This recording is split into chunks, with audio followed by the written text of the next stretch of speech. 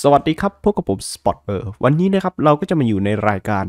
ของด็อกเตอร์ฮูกันอีกแล้วครับ ซึ่งในคลิปก่อนนะครับ เราก็ได้มาจัดอันดับด็อกเตอร์ฮูที่ทุกคนนั้นชื่นชอบมาว่าเอ่อทุกคนนั้นชอบด็อกเตอร์ฮูคนไหนนะครับ แต่ว่าในวันนี้นะครับเราก็จะมาจัดอันดับตัวร้ายที่ผมนั้นชื่นชอบก็คือผมเป็นคนจัดอันดับเองเลยนะว่า ตัวไหนตัวไหนมันควรจะอยู่ในอันดับไหนนะครับ ก็ผมจะบอกไว้ก่อนว่าการจัดอันดับนี้ครับมันไม่ได้จัดอันดับความเก่งกาจของตัวร้ายนะอย่างสมมุติถ้าเกิดว่าคุณไปดูจากอันดับแบทแมน ศัตรูของแบทแมนอย่างเงี้ยคุณก็จะให้โจ๊กเกอร์เป็นอันดับหนึ่งทั้งที่โจ๊กเกอร์มันก็แบบไม่ได้เป็นศัตรูที่มีพลังเวอร์วังอลังการถึงขนาดระเบิดดาวเคราะห์ได้อะไรประมาณนี้นะครับแต่ว่าเนื่องจากว่าแบทแมนเจอบ่อยและเป็นคู่ปรับนะครับมันเลยให้เป็นอันดับหนึ่งอันนี้ก็จะคล้ายกันครับก็คือเป็นการจัดอันดับคู่ปรับของด็อกเตอร์นะครับบางตัวก็เจอโอ้โห เยอะตอนหน่อย บางตัวก็เป็นคู่รักคู่แค้น หรือบางตัวก็เจอแค่ตอนเดียวแต่พลังเวอร์วังอลังการที่แบบด็อกเตอร์เนี่ยสู้ไม่ได้เลยอะไรประมาณนี้นะครับ ก็นี่จะเป็นการจัดอันดับของผมเองนะครับ ก็ถ้าพร้อมแล้วเราก็เราไปรับชมกันได้เลย อันดับที่ 10 The Empty Child ที่คุณเห็นในภาพนี้ครับที่เป็นคนสวมหน้ากากเอ่อกันแก๊สนี่ครับอันที่จริงมันไม่ใช่หน้ากากกันแก๊สนะ มันเป็นเหมือนกับเอ่อหน้ากากที่มันเชื่อมต่อไปถึงกระดูกเลยนะครับ คุณลองจินตนาการดูว่าเอ่อถ้าเกิดคุณโดนเชื้ออันนี้เข้าไปนะครับ ซึ่งเชื้ออันนี้นะครับเกิดจากเด็กนะครับที่ต้องการตามหาแม่ของตัวเองนะครับ อะผมไม่สปอยนะ ว่าเนื้อเรื่องมันเป็นยังไงไปดูเอาเองนะครับ ในซีซั่นหนึ่งของ New Series นะครับ เอาเป็นว่าเรื่องเรื่องนะครับก็คือเด็กคนนี้ต้องการตามหาแม่และเผอิญเผอิญนะครับ เด็กคนนี้มีพลังในการปล่อยเชื้อนะครับ ซึ่งเชื้อตัวนี้นะครับทำให้คนที่ได้รับนั้นน่ะกลายร่างเป็นเอ่อซอมบี้สวมหน้ากากกันแก๊สเออประมาณนี้ดีกว่านะครับ ก็คือแบบเมื่อรับเชื้อไปแล้วนี่หน้านี่ตรงปากนี่จะมีไอ้ท่อกันแก๊ส บ้วนออกมานะครับและหน้าตาก็จะเปลี่ยนเป็นไอ้พวกหน้ากากกันแก๊สอันนี้แหละโอ้โหก็คือแบบตอนแรกที่ดูนะบอกเลยว่าเอ้ยมันคิดได้ไงวะโอ้โหโคตรที่จะเลอะเทอะเลยแต่ว่าโอ้โห ถ้าพูดถึงพลังนี่ผมว่าใช้ได้เลยครับสำหรับ The The Empty Child นะ อันดับที่ 9 ซาตานซาตานตัวนี้นะครับที่เห็นอยู่นี่ก็ถือว่าเป็นตัวที่มีพลังท็อปๆของในเรื่องด็อกเตอร์ฮูเลยครับถือว่าเป็นตัวร้ายที่แบบพลังเวอร์วังอลังการที่สุดแล้วนะครับ ซึ่งคนนี้นะครับ เมื่อครั้งอดีตกาลนานมาแล้วครับไอ้ซาตานตนนี้นี่มันถูกผนึกเอาไว้ครับ โดยถูกผนึกเอาไว้ในไหนะครับ ก็คือร่างกายของมันนี่ถ้าเกิดถูกผนึกเอาไว้ในไหนะครับ ถ้าเกิดไหถูกทำลายนี่มันก็จะตายด้วยนะครับ แต่ปรากฏว่าตัวนี้นะครับมันก็พยายามที่จะหลบหนีนะครับ ออกจากคุกที่มันโดนคุมขังอยู่นะครับ มันเลยครับถอดจิตออกไปนะครับ ถอดจิตดิไปเข้าสิงร่างคนครับ เข้าสิงร่างคนไม่พอครับ มันเข้าสิงร่างของมนุษย์ต่างดาวที่มีชื่อว่าอูดด้วยครับ ซึ่งอูดนี่ครับเป็นเหมือนกับว่าเป็นมนุษย์ต่างดาวที่คอยรับใช้ครับ เหมือนเป็นมนุษย์ดาวคนใช้อะว่างั้นนะครับ ซึ่งพวกอูดนะครับ เวลาที่โดนซาตานเข้าสิงนี่มันก็จะ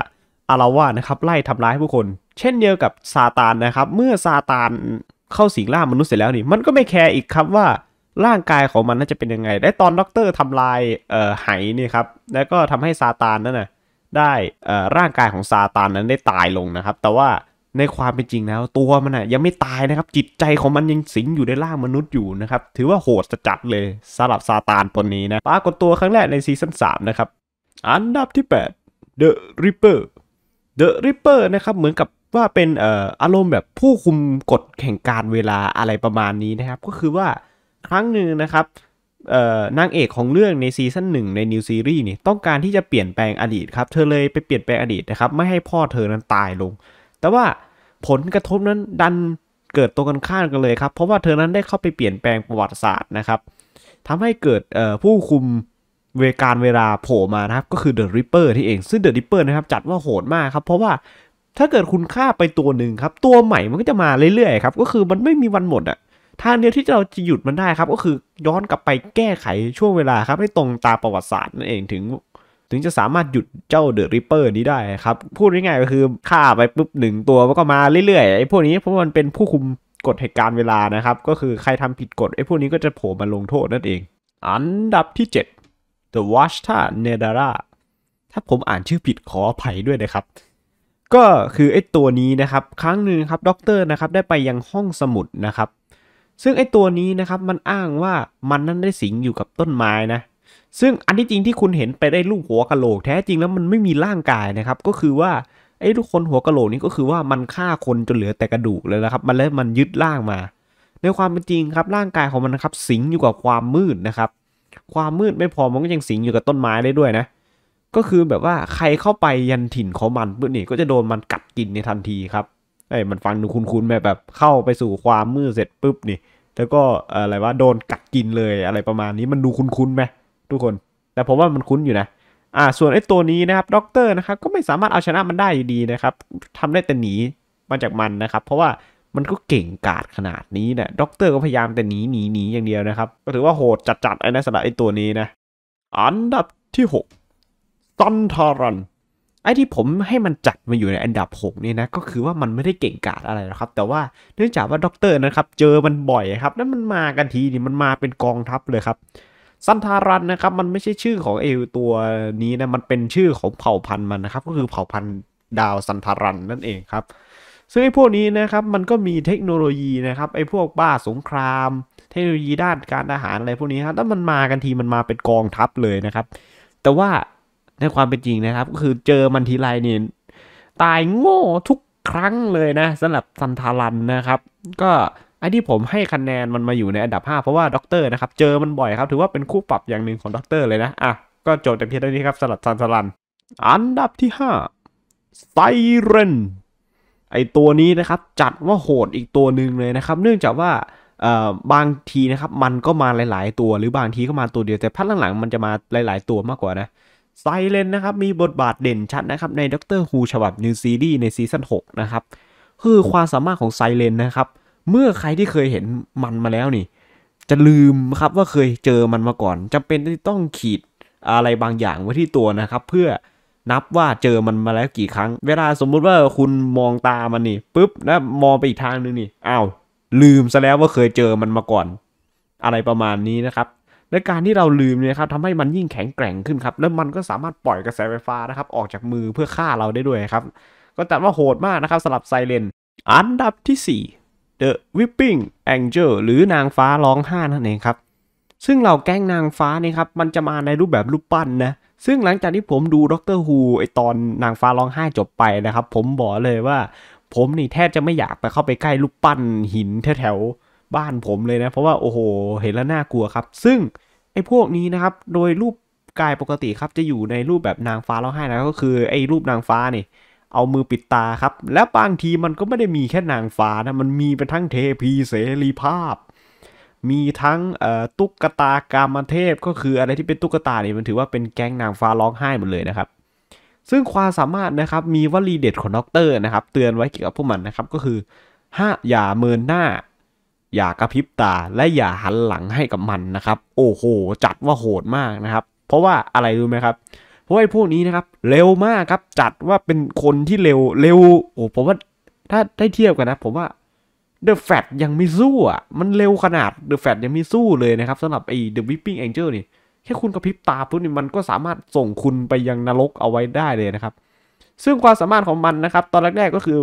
อจะส่งคนไปในอดีตนะครับ เมื่อคุณกระพริบตาเพื่อนนี่มันก็จะทำการส่งคุณไปในอดีตในทันทีครับ แต่พักหลังๆมันก็จะวิวัฒนาการครับจากส่งไปในอดีตกลายเป็น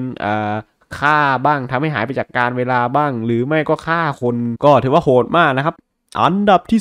3 The Master The Master ครับเป็นคู่ปรับอีกตัวหนึ่งของด็อกเตอร์ครับที่ผมชอบมากๆครับ เนื่องจากว่า มันมาจากดาวเดียวกับด็อกเตอร์นะก็คือว่าเป็นเผ่าพันธุ์เดียวกับด็อกเตอร์เลยนะครับ ในช่วงสงครามเวลานะครับ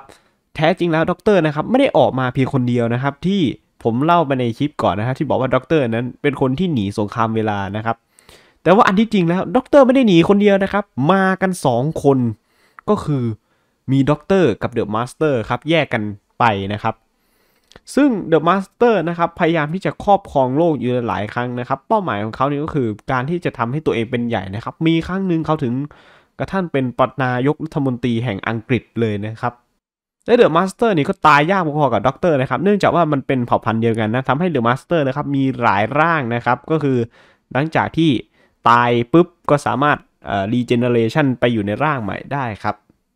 ก็ถือว่ามีความฉลาดพอๆกันเลยนะสำหรับ The Master กับด็อกเตอร์เนี่ยก็คือฉลาดพอๆกันเลยนะครับสองคนนี้ อันดับที่2 Cyberman Cyberman นะครับ ถ้าเกิดมันมาตัวเดียวนี่ยังถือว่าไม่เท่าไหร่ครับ ไม่ใช่ไม่เท่าไหร่สิ มันก็โหดอยู่นะ มาตัวเดียวก็ถือว่าโหดใช้ได้เลยด้วยปืนลำแสงของมันเนี่ยครับ แต่ว่า